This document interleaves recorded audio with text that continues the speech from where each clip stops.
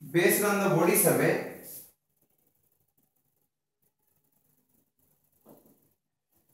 based on the OD survey OD survey means origin and destination survey based on OD survey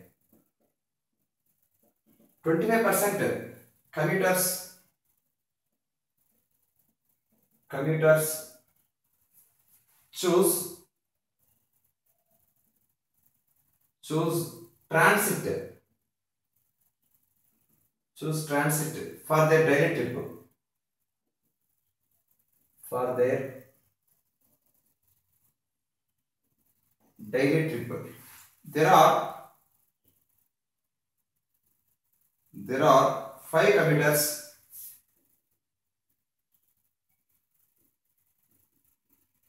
five commuters being randomly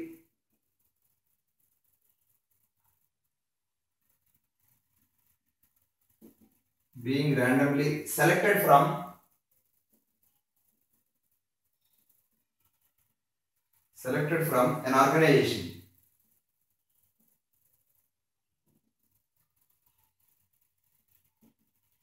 organization estimate the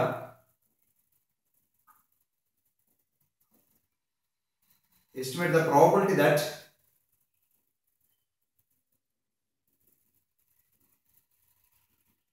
estimate the probability that one person among five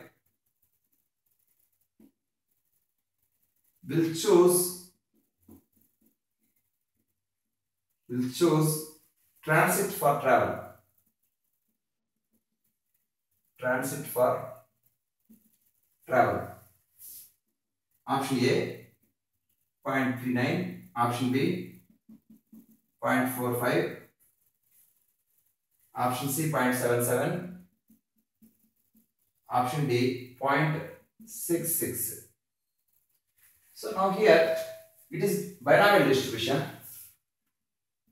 Because choice binomial binomial distribution. Here probability of x equal to n equal to x equal to r x equal to r equal to ncr p power r into q power